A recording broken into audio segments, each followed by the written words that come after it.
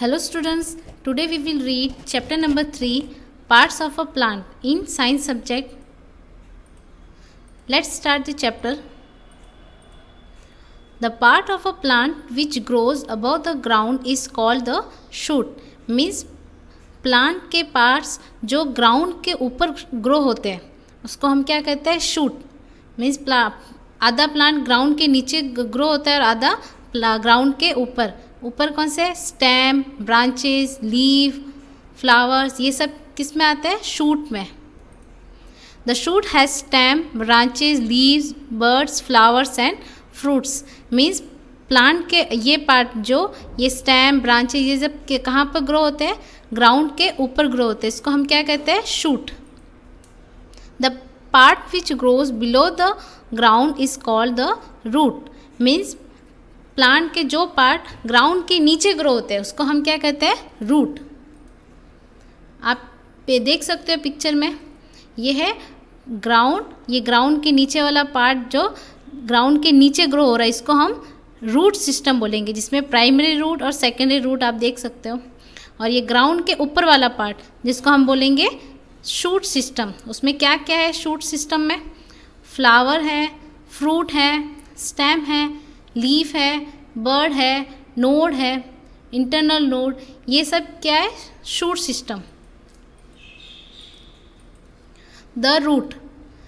There are two types of root means mainly roots कितने types की होती है? टू टाइप्स होती है। First, tap root. Number two, fibrous root. Tap root.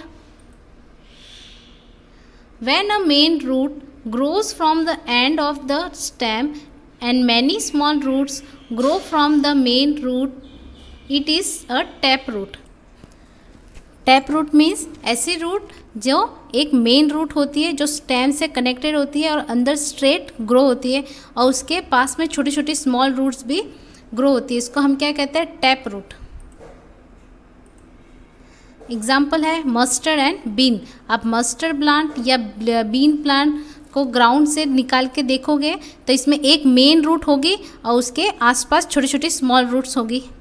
आप ये देख सकते हैं पिक्चर में, ये ग्राउंड है ग्राउंड के ऊपर स्टेम है स्टेम से ये मेन रूट अंदर सॉइल के अंदर आ रही है और इसके आसपास क्या है? स्मॉल रूट्स तो ये कौन सी रूट है? Tap root number two fibrous root when a number of roots grow from the end of the stem it is a fibrous root means ऐसी रूट जो स्टेम के एंड से ही सारी रूट्स वहीं से ग्रो होती है। उसको हम क्या बोलते हैं? Fibrous root example grass wheat rice and onion आप ग्रास वीट राइस अनियन किसी भी प्ला, प्लांट को आप ग्राउंड से निकाल के देखोगे तो इनकी एक एक ही प्लांट स्टेम के एक ही पॉइंट से सारी रूट ग्रो हो, होती हुई दिखेगी। ये देख सकते हो पिक्चर में। ये स्टैम का एंड है और यहीं से सारी रूट क्या हो रही है? ग्रो हो रही है। ये पूरा बंच है रूट का। तो इसको हम क्या कहते हैं? Fibrous root function of the root अभी रूट के फ़ंक्शन क्या है? काम क्या है इसके? The root fix the plant in the soil root क्या करती है? प्लांट को सॉइल के अंदर फिक्स रखती है, पकड़ कर रखती है। Without roots, a plant will be able to take in neither water nor salts from the soil. It will die. Means बिना रूट के प्लांट सॉइल से ना ही तो वाटर एब्जॉर्ब कर सकता है ना ही सॉल्ट एब्जॉर्ब कर सकता है मीन्स सबसे मेन काम क्या होता है रूट का बिकॉज़ वो सॉइल के अंदर होती है तो सॉइल से वाटर और सॉल्ट्स को एब्जॉर्ब करना और स्टेम तक पहुंचाना तो अगर रूट ही नहीं होगी तो वाटर और सॉल्ट एब्जॉर्ब कौन करेगा? और एब्जॉर्ब नहीं होगे तो प्लांट मर जाएगा प्लांट नहीं रहेगा। The stem the stem grows above the ground और स्टेम कहाँ ग्रो होते हैं? ग्राउंड के ऊपर वाला जो पार्ट होता है, वो क्या होता है? Stem the stem of the neem tree is hard strong and woody neem tree tree का स्टेम कैसा होता है? हार्ड होता है, स्ट्रांग होता है, वुडी होता है। This keeps the tree upright such a stem is called a trunk और इस टाइप के स्टेम जो हार्ड स्ट्रांग एंड वुडी होते हैं, वो ट्रीज को क्या कहते हैं? अपराइट मीन्स स्ट्रेट रखते हैं, उसको हम क्या कहते हैं? Trunk functions of the stem अभी स्टेम के फ़ंक्शंस क्या है? The main function of the stem is to hold the plant upright and support its branches means का मेन फ़ंक्शन है स्टेम का प्लांट को पकड़े रखना होल्ड का मीन्स होता है पकड़ना सीधे पकड़े रखना और उनकी ब्रांचेस को सपोर्ट करना जैसे हमारी बॉडी में हमारे हैंड्स को कौन सपोर्ट करता है हमारी बॉडी का मेन पार्ट जो बीच वाला जो पार्ट है वो हमारे हैंड्स को सपोर्ट करता है तो प्लांट्स के भी ब्रांचेस को कौन सपोर्ट करता है स्टेम सपोर्ट करता है the stem also carries water to the leaves और स्टेम दूसरा स्टेम का वर्क क्या है? वाटर उनको पहले कहाँ से मिला? रूट ने सॉइल से वाटर एब्जॉर्ब किया और स्टेम को ट्रांसफ़र किया। और वो वाटर स्टेम क्या करता है? लीव्स को ट्रांसफ़र करता है। बिकॉज़ लीव्स क्या करती है? पूरे प्लांट के लिए खाना बनाती है। और खाना बनाने के लिए आपको पता ही है किस किस चीज़ की ज़रूरत होती है। वाटर एयर एंड सनलाइट तो वाटर कहाँ से लेगी वो? रूट से मिलेगा, रूट स्टेम को देगा और स्टेम लीफ को देगा। The stem carries the food made by the leaves to different parts of the plant और दूसरा स्टेम का काम क्या है? जो लीफ ने खाना बनाया है, वो खाना प्लांट के सारे पार्ट्स तक पहुंचाना। तो पहला काम तो करता है, वो रूट से वाटर लेकर लीव्स तक पहुंचाता है। और फिर लीव्स खाना बनाती है, खाना बना हुआ खाना स्टेम लेकर प्लांट के हर एक पार्ट्स तक पहुंचाता है ट्रांसफ़र करता है। आप देख सकते हो the leaf the most important part of the shoot is the leaf means shoot plant का जो शूट सिस्टम है ग्राउंड के ऊपर वाला जो सिस्टम है, उसमें सबसे इम्पोर्टेंट पार्ट क्या है? लीफ आपको पता है लीफ क्यों है? बिकॉज़ पूरे प्लांट में खाना बनाने का काम कौन करती है? लीफ करती है, इसलिए वो इम्पोर्टेंट है। The flat and broad part of a leaf is called the leaf blade और लेमिना और जो लीफ का आप देख सकते हैं, ये फ्लैट और ब्रॉड वाला पार्ट ये बड़ा सा पतला सा पार्ट है, ये क्या है?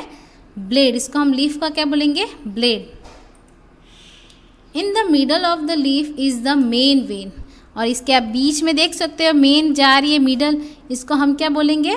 Main vein functions of the leaf अभी लीफ के फ़ंक्शंस क्या है? A green leaf makes food for the plant with the help of water, air and sunlight. This process is called photosynthesis. Means leaf का leaf क्या करती है? पूरे plant के लिए खाना बनाती है। किसके हेल्प से? वाटर एयर एंड सनलाइट की हेल्प से। और ये खाने बनाने का जो पूरा प्रोसेस होता है, इसको हम क्या कहते हैं? फोटोसिंथेसिस क्या कहते हैं? Photosynthesis a leaf is called the kitchen और the food factory of a plant plant में खाना कौन बनाता है? लीफ बनाती है। इसके लिए हम उसको किचन भी कह सकते हैं। जैसे हमारे घर में भी किचन में क्या बनता है? खाना बनता है। इसलिए हमने उस रूम को क्या बोल दिया? किचन रूम तो प्लांट में भी खाना कौन बनाती है? लीव बनाती है। तो इसको हम किचन या फ़ूड फैक्ट्री कह सकते हैं। Fruits and seeds fruits have seeds inside them fruits के अंदर सीड्स होते हैं। आप सबको पता ही है। Some fruits have one seed कुछ फ्रूट्स होते हैं जिसमें वन सीड होता है। फॉर एग्ज़ाम्पल मैंगो मैंगो में ओनली वन सीड होता है। Some have a few seeds while others have many. कुछ फ्रूट्स में बहुत कम सीड्स होते हैं और कुछ में बहुत ज़्यादा। जैसे आप चीकू में देख सकते हो, ज़्यादा सीड्स नहीं होते हैं कम सीड्स होते हैं और उसके रिप्लेस पे आप वाटरमेलन को देख सकते हो, उसमें बहुत ज़्यादा सीड्स होते हैं। Most plants grow from seeds. Almost plants होते हैं, वो किससे ग्रो होते हैं? सीड से। और कुछ प्लांट्स होते हैं, वो प्लांट के पार्ट से ग्रो होते हैं। जैसे आप रोज़ प्लांट को देख सकते हो। रोज़ प्लांट के कोई सीड नहीं होते। हैं उसको ग्रो कैसे करते हैं? उसका स्टेम कट करते हैं बीच में से और उसका वो आधा कटा हुआ स्टेम जो पार्ट होगा उसको दूसरी जगह ग्रो करते हैं तो दूसरा न्यू रोज़ प्लांट ग्रो होता है। तो कुछ प्लांट होते हैं जो सीड से ग्रो होते हैं और कुछ उसके पार्ट से ग्रो होते हैं। When the seed gets enough air water and warm the body plants start growing means जब सीड को उसकी जितनी ज़रूरत होती है, उसका एयर वाटर और गर्मी वहाँ मिल जाएगी तो सीड अपने आप ग्रो होना स्टार्ट हो जाएगा।